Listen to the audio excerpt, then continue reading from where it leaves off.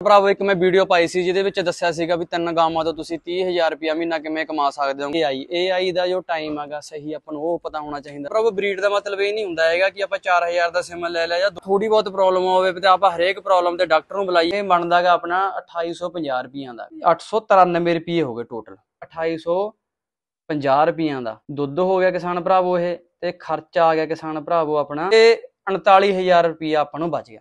ਸਤਿ ਸ੍ਰੀ ਅਕਾਲ ਕਿਸਾਨ ਭਰਾਵੋ, ਸਵਾਗਤ ਹੈ ਤੁਹਾਡਾ ਮੇਰੇ YouTube ਚੈਨਲ ਤੇ। ਕਿਸਾਨ ਭਰਾਵੋ, ਇੱਕ ਮੈਂ ਵੀਡੀਓ ਪਾਈ ਸੀ ਜਿਹਦੇ ਵਿੱਚ ਦੱਸਿਆ ਸੀਗਾ ਵੀ ਤਿੰਨ ਗਾਵਾਂ ਤੋਂ ਤੁਸੀਂ 30000 ਰੁਪਇਆ ਮਹੀਨਾ ਕਿਵੇਂ ਕਮਾ ਸਕਦੇ ਹੋਗੇ ਸਰਕਾਰੀ ਜੌਬ ਜਿੰਨਾ। ਤੇ ਬਹੁਤ ਸਾਰੇ ਕਿਸਾਨ ਵੀਰਾਂ ਦੇ ਫੋਨ ਵੀ ਆਏ ਸੀ ਕਮੈਂਟ ਵੀ ਆਏ ਸੀਗੇ ਤੇ ਬਹੁਤ ਸਾਰੇ ਭੈਣਾਂ ਦੇ ਕਮੈਂਟ ਵੀ ਆਏ ਸੀਗੇ ਕਿ ਸਾਨੂੰ ਦੱਸੋ ਤੁਸੀਂ ਹਨਾ ਵੀ ਅਸੀਂ ਵੀ ਇਹ ਕੰਮ ਸ਼ੁਰੂ ਕਰ ਸਕਦੇ ਹਾਂਗੇ। ਤੇ ਕੁਝ ਕਿਸਾਨ ਵੀਰਾਂ ਨੇ ਇਹ ਕਿਹਾ ਸੀਗਾ ਵੀ ਇਹ ਕਿਵੇਂ ਪੋਸੀਬਲ ਹੋ ਸਕਦਾ ਹੈਗਾ? ਸਾਨੂੰ ਇਹ ਦੱਸੋ ਵੀ ਇਹ ਮਤਲਬ ਸਾਨੂੰ ਨਹੀਂ ਲੱਗਦਾ ਵੀ ਇਹ ਪੋਸੀਬਲ ਆ। ਵੀ ਬਟ ਤੁਸੀਂ ਫਿਰ ਵੀ ਸਾਨੂੰ ਦੱਸੋ ਕਿਸਾਨ ਵੀਰੋ ਪੋਸੀਬਲ ਹੈਗਾ ਪੋਸੀਬਲ ਹੈਗਾਗਾ ਤਾਂ ਹੀ ਮੈਨੇ ਵੀਡੀਓ ਪਾਈ ਹੈਗੀ। ਮੈਂ 100% ਗਾਰੰਟੀ ਦਿੰਦਾ, ਤੁਸੀਂ ਅੱਜ ਦੀ ਵੀਡੀਓ ਧਿਆਨ ਨਾਲ ਦੇਖਿਓ। ਅੱਜ ਦੀ ਵੀਡੀਓ ਦੇ ਵਿੱਚ ਮੈਂ ਤੁਹਾਨੂੰ ਸਾਰਾ ਬਰੀਕੀ ਨਾਲ ਦੱਸੂਗਾ। ਪਹਿਲਾਂ ਮੈਂ ਤੁਹਾਨੂੰ ਪੁਆਇੰਟ ਦੱਸੂਗਾ ਸਾਰੇ। ਫਿਰ ਲਾਸਟ ਦੇ ਵਿੱਚ ਕਿਸਾਨ ਵੀਰੋ ਆਪਾਂ ਕੈਲਕੂਲੇਟ ਕਰਾਂਗੇ। ਇੱਕ ਬੁੱਕ ਦੇ ਉੱਤੇ ਮੈਂ ਤੁਹਾਨੂੰ ਕੱਲਾ ਕੱਲਾ ਕੈਲਕੂਲੇਟ ਕਰਕੇ ਸਮਝਾਉਂਗਾ। ਕਿਸਾਨ ਵੀਰੋ, ਵੀਡੀਓ ਤੁਸੀਂ ਸਾਰੀ ਧਿਆਨ ਨਾਲ ਦੇਖਿਓ, ਫਿਰ ਆਪਾਂ ਨੂੰ ਇਹ ਚੀਜ਼ ਦੀ ਸਮਝ ਆਉਣੀ ਹੈਗੀ ਤੇ ਉਸ ਤੋਂ ਬਾਅਦ ਜਿਵੇਂ ਮੈਂ ਤੁਹਾਨੂੰ ਕਹੂੰਗਾ, ਤੁਸੀਂ ਉਵੇਂ ਕਰਿਓ ਤੇ ਫਿਰ ਇੱਕ ਮਹੀਨੇ ਬਾਅਦ ਤੁਸੀਂ ਮੈਨੂੰ ਆਪ ਫੋਨ ਕਰਕੇ ਜਾਂ ਕਮੈਂਟ ਕਰਕੇ ਦੱਸਿਓ ਕਿ ਹਾਂ, ਸਾਨੂੰ ਬਚਿਆ ਜਾਂ ਨਹੀਂ ਬਚਿਆ ਕੁਛ। ਕਿਸਾਨ ਵੀਰੋ ਤੇ ਕਿਸਾਨ ਵੀਰੋ ਇਹਦੇ ਵਿੱਚ ਕੁਝ ਪੁਆਇੰਟ ਨੇਗੇ ਜੋ ਤੁਹਾਨੂੰ ਮੈਂ ਪਹਿਲਾਂ ਦੱਸੂਗਾ। ਇੱਕ ਤਾਂ ਕਿਸਾਨ ਵੀਰੋ ਆਪਾਂ ਆਪਣੇ ਕੋਲ ਹੋਣੀ ਚਾਹੀਦੀ ਹੈ ਬਰੀਡ ਔਰ ਬਰੀਡ ਦਾ ਆਪਾਂ ਨੂੰ ਪਤਾ ਹੋਣਾ ਚਾਹੀਦਾ। ਕਿਸਾਨ ਵੀਰੋ, ਇੱਕ TMR TMR ਦਾ ਮਤਲਬ ਇਹ ਹੁੰਦਾ ਹੈ ਕਿ ਕੋਈ ਮਸ਼ੀਨ ਨਹੀਂ ਕੋਈ ਲੈ ਕੇ ਆਉਣੀ ਹੈਗੀ। TMR ਦਾ ਮਤਲਬ ਇਹ ਹੁੰਦਾ ਕਿ ਆਪਾਂ ਫੀਡ ਸੈਲ ਜੋ ਤੂੜੀ ਜਾਂ ਜੋ ਹੋਰ ਵੀ ਰਾਸ਼ਨ ਪਾ ਰਹੇ ਤੇ ਆਪਾਂ ਨੂੰ ਉਹਦਾ TMR ਹੋਣਾ ਪਤਾ ਹੋਣਾ ਚਾਹੀਦਾਗਾ ਪ੍ਰੋਪਰ ਢੰਗ ਨਾਲ ਵੀ ਆਪਾਂ ਕਿਸ ਤਰ੍ਹਾਂ ਕਰਨਾਗਾ ਇੱਕ ਕਿਸਾਨ ਭਰਾਵੋ ਜੋ ਹੁੰਦੀ ਹੈਗੀ AI ਕਿਸਾਨ ਭਰਾਵੋ AI ਬਹੁਤ ਜ਼ਰੂਰੀ ਹੈਗੀ AI ਦਾ ਮਤਲਬ ਇਹ ਹੁੰਦਾ ਹੈ ਕਿ ਜੋ ਕਨਸੀਵ ਰੇਟ ਆ, ਉਹ ਆਪਣੀ ਬਹੁਤ ਵਧੀਆ ਹੋਣੀ ਚਾਹੀਦੀ ਹੈ 60 ਤੋਂ 80 ਦਿਨਾਂ ਦੇ ਵਿੱਚ ਐਨੀਮਲ ਪ੍ਰੈਗਨੈਂਟ ਹੋਣਾ ਜ਼ਰੂਰੀ ਹੁੰਦਾ ਕਿਸਾਨ ਭਰਾਵੋ। ਹੁਣ ਗੱਲ ਕਰੀਏ ਕਿਸਾਨ ਭਰਾਵੋ, ਬਰੀਡ ਦੀ, ਜੋ ਐਨੀਮਲ ਲੈ ਕੇ ਆਉਣੇ ਨੇ ਆਪਾਂ ਨੇ ਉਹ ਕਿਸ ਤਰ੍ਹਾਂ, ਮਤਲਬ ਕਿਸ ਤਰ੍ਹਾਂ ਦੇ ਹੋਣੇ ਚਾਹੀਦੇ ਨੇਗੇ? ਕਿਸਾਨ ਭਰਾਵੋ, ਇਹਦੇ ਵਿੱਚ ਮੈਂ ਤੁਹਾਨੂੰ ਇੱਕ ਨਾ, ਮਤਲਬ ਜ਼ਿਆਦਾ ਡੀਪਲੀ ਇਨਫੋਰਮੇਸ਼ਨ ਨਹੀਂ ਦਿੰਦਾ ਹੈਗਾ। ਮੈਂ ਤੁਹਾਨੂੰ ਸਾਰਾ ਸਮਝਾ ਦੂੰਗਾ। ਲਾਸਟ ਦੇ ਵਿੱਚ ਆਪਾਂ ਕਾਪੀ ਤੇ ਸਾਰਾ ਕੈਲਕੂਲੇਟ ਕਰਾਂਗੇ।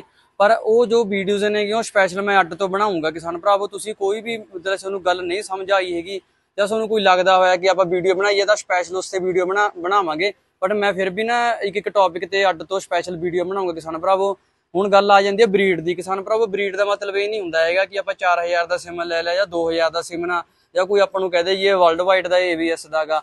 ਐਦਾਂ ਦਾ ਕੋਈ ਆਪਾਂ ਨੂੰ ਨਹੀਂ ਕਿਸਾਨ ਭਰਾਵੋ ਚਾਹੀਦਾ ਬਰੀਡ ਬਣਨ ਨੂੰ। ਕਿਸਾਨ ਭਰਾਵੋ 40 40 ਸਾਲ ਲੱਗ ਜਾਂਦੇ ਨੇਗੇ ਤੇ ਕਿਸਾਨ ਭਰਾਵੋ ਬਰੀਡ ਦਾ ਮਤਲਬ ਇਹ ਹੁੰਦਾਗਾ ਕਿ ਜਿਹੜਾ ਐਨੀਮਲ ਆਗਾ, ਮੰਨ ਲਓ 30 ਲੀਟਰ ਦੁੱਧ ਦੇ ਰਿਹਾ ਆਪਾਂ ਨੂੰ, ਤੇ ਉਹ 2 ਮਹੀਨਿਆਂ ਬਾਅਦ ਜਦੋਂ ਆਪਾਂ ਨੂੰ ਪ੍ਰੈਗਨੈਂਟ ਕਰਾਂਗੇ, ਉਦੋਂ ਵੀ ਉਹ 30 ਲੀਟਰ ਤੇ ਹੋਵੇ ਕਿਸਾਨ ਭਰਾਵੋ, ਜਦੋਂ ਉਹ ਪ੍ਰੈਗਨੈਂਟ ਹੋਣ ਤੋਂ ਬਾਅਦ ਅਗਲੇ 3 ਮਹੀਨਿਆਂ ਦੇ ਵਿੱਚ ਉਹ 25 ਲੀਟਰ ਤੱਕ ਦੁੱਧ ਦਿੰਦਾ ਰਹੇ ਆਰਾਮ ਨਾਲ, ਤੇ ਜਦੋਂ ਨੂੰ ਆਪਾਂ ਨੇ ਡਰਾਈ ਕਰਨਾ, ਉਹ 14 15 ਲੀਟਰ ਤੇ ਹੋਵੇ, ਇਹਨੂੰ ਬਰੀਡ ਕਹਿੰਦੇ ਨੇ ਕਿਸਾਨ ਭਰਾਵੋ ਲੌਂਗ ਟਾਈਮ ਦੁੱਧ ਦੇਵੇ, ਉਹ ਜੋ ਚੰਗੀ ਬਰੀਡ ਹੁੰਦੀ ਹੈਗੀ ਜਿਹਦੇ ਮਦਰ ਦਾ ਰਿਕਾਰਡ ਚੰਗਾ ਹੁੰਦਾਗਾ, ਅੱਗੇ ਉਹਦੀ ਮਦਰ ਜੋ ਹੁੰਦੀ ਹੈਗੀ, ਉਹਦਾ ਵੀ ਆਪਾਂ ਨੂੰ ਰਿਕਾਰਡ ਪਤਾ ਹੋਵੇ ਐਦਾਂ ਦੇ ਦੇਖ ਕੇ ਬਰੀਡ ਲੈਣੀ ਹੈ ਕਿਸਾਨ ਭਰਾਵੋ।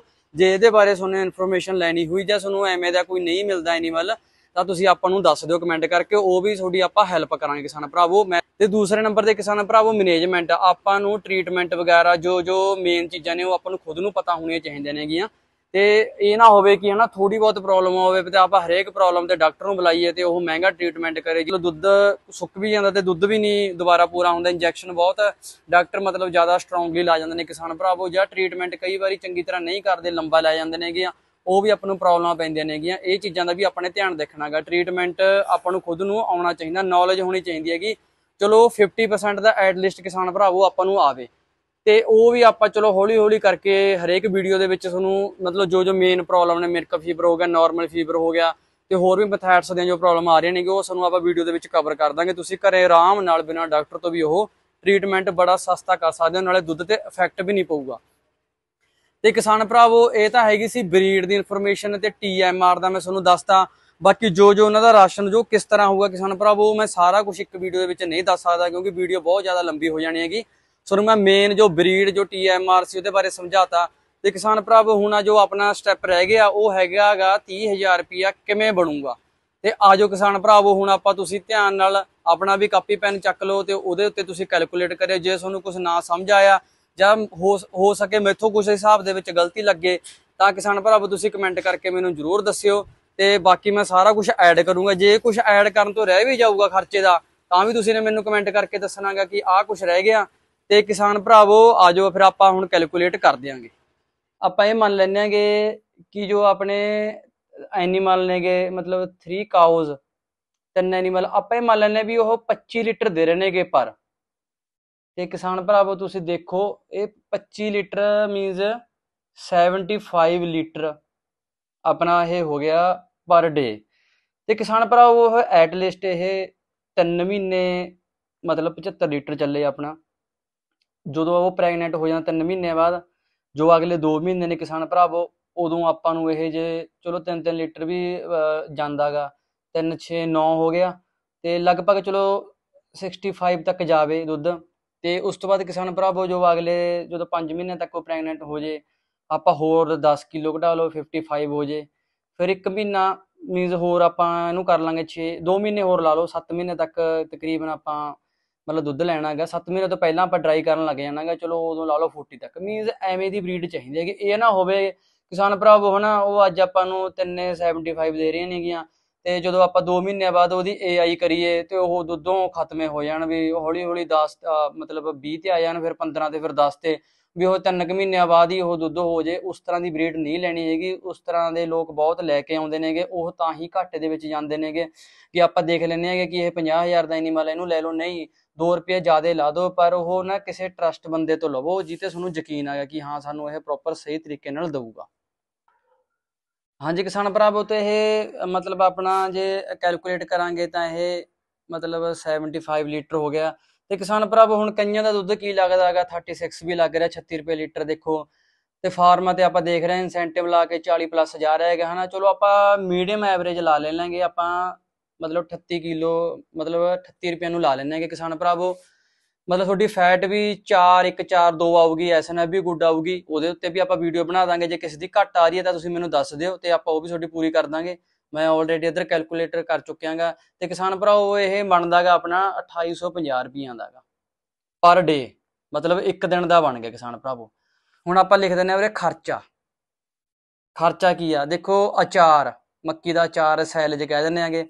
ਇਹਨਾਂ ਨੂੰ 32 ਕਿਲੋ ਚਾਹੀਦਾਗਾ ਜਿਹੜਾ ਸਹੀ ਵਧੀਆ ਬਣਿਆ ਹੋਇਆ ਹੈਗਾ ਅਚਾਰ ਡਰਾਈ ਮੈਟਰ ਸਾਰਾ ਮੇਨਟੇਨ ਕੀਤਾ ਹੈ ਗੁੱਡ ਸਟਾਰਚ ਹੈਗਾ ਤੇ ਚਲੋ 2 2-3 ਕਿਲੋ ਵੱਧ ਵੀ ਖਾ ਸਕਦੇ ਨੇ, ਪਰ ਐਵਰੇਜ 32 ਕਿਲੋ ਤਾਂ ਇਹਨਾਂ ਨੂੰ ਚਾਹੀਦੀ, ਚਾਹੀਦਾ ਕਿਸਾਨ ਭਰਾਵੋ।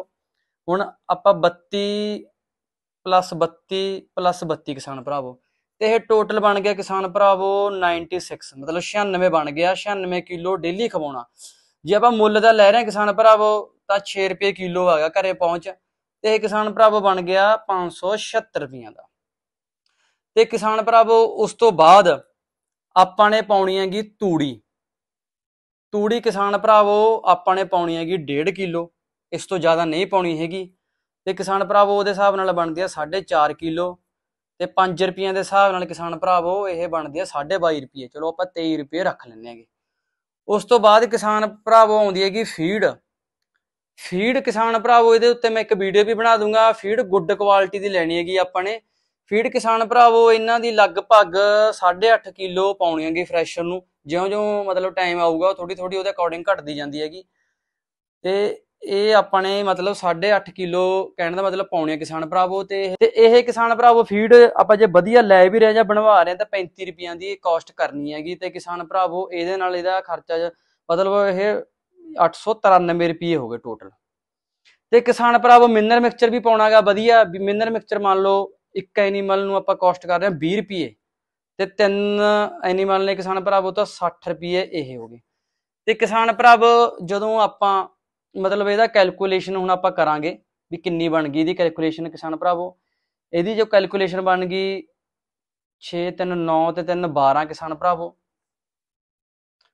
7 ਤੇ 1 8 8 ਤੇ 2 10 10 ਤੇ 9 19 19 ਤੇ 6 ਕਿਸਾਨ ਭਰਾਵੋ 25 ਤੇ ਮਤਲਬ 8 8 ਤੇ 2 10 10 ਤੇ 5 15 ਕਿਸਾਨ ਭਰਾਵੋ, ਆਪਣਾ ਖਰਚਾ ਆ ਗਿਆ 1552 ਰੁਪਏ ਤੇ ਦੁੱਧ ਦਾ ਕਿੰਨੇ ਦਾ ਪਾਇਆ ਆਪਾਂ ਨੇ? 2850 ਰੁਪਈਆਂ ਦਾ। ਦੁੱਧ ਹੋ ਗਿਆ ਕਿਸਾਨ ਭਰਾਵੋ ਇਹ ਤੇ ਖਰਚਾ ਆ ਗਿਆ ਕਿਸਾਨ ਭਰਾਵੋ ਆਪਣਾ 1552 ਦਾ। ਹੁਣ ਕਿਸਾਨ ਭਰਾਵੋ, ਇਹਨੂੰ ਤੁਸੀਂ ਮਾਈਨਸ ਕਰ ਲਓ ਕਿੰਨੇ ਪੈਸੇ ਬਚ ਗਏ ਆਪਣੇ ਇਹ। ਇਹ ਕਿਸਾਨ ਭਰਾਵੋ ਬਣ ਗਏ ਆਪਣੇ 1298 ਰੁਪਏ ਕਿਸਾਨ ਭਰਾਵੋ ਬਣ ਗਏ। ਚਲੋ ਕਿਸਾਨ ਭਰਾਵੋ ਆਪਾਂ 1300 ਮੰਨ ਲਓ ਇਹਨੂੰ ਕਿ 1300 ਰੁਪਏ ਆਪਾਂ ਨੂੰ ਬਣ ਗਿਆ ਇੱਕ ਦਿਨ ਦਾ।